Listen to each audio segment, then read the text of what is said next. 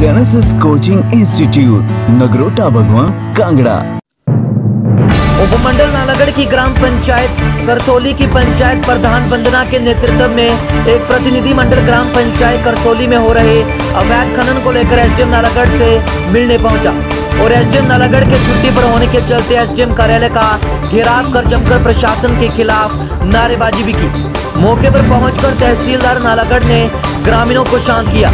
तहसीलदार के माध्यम से एसडीएम को ज्ञापन सौंपा जिसमें ग्रामीणों द्वारा एसडीएम नालागढ़ से उनके गाँव में पिछले लंबे समय से हो रहे अवैध खनन को रोकने और खनन करने वालों पर सख्त कार्रवाई की मांग की है।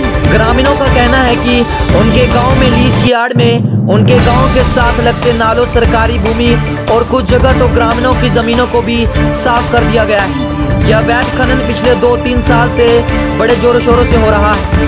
ग्राम पंचायत कसोली हम आज यहाँ खनन माफिया के बारे में एकत्रित हुए हैं। लोगों ने जो ज़मीन लीज पर दे रखी है उसमें से जो खनन माफिया है उसके साथ में श्याम लाटा को नजायज कब्जे वाली भूमि है सभी वहाँ से माल उठाते नदी से खनन करते हैं और दिन रात करते हैं। अगर कोई जाए वहाँ तो वो सभी को, को बताते हैं हम बदमाशी के रूप में बताते हैं कि हम बदमाश हैं, हम वो कर देंगे ये कर देंगे वहाँ बीच गहरे खड्डे डाले हुए हैं। लोग को फ़ोन करे, फ़ोन नहीं उठाते जी। तो वो जो मानी गाड़े है, वो तो आपको पता ही है जी।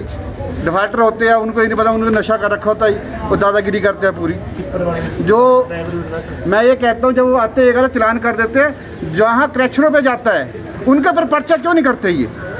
अगर किसी की चोरी पड़ी की तो जड़ तक जाए ना, कौन खरीद रहा है, कौन नहीं खरीद रहा है? बाकी प्रधान प्रधानों ने दे रखी है लीज। उनको निजी स्वार्थ बनी क्या था क्या नहीं। हमारे पूरे गाँव में इसके खिलाफ है। ये बंद होनी चाहिए। हम एस साहब को भी बोल रहे हैं तहसीलदार साहब को बोल रहे हैं और डीसी को बोलेंगे। उज्जवल हिमाचल के लिए नालागढ़ से Surendra Singh Soni.